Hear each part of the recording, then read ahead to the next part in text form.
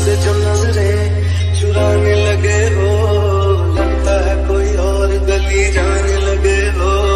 खाब जो देखे, हम दोनों ने मिलके धीरे धीरे क्यों दफनाने लगे हो? करना तू और बर्बाद छड़ दे रोने आता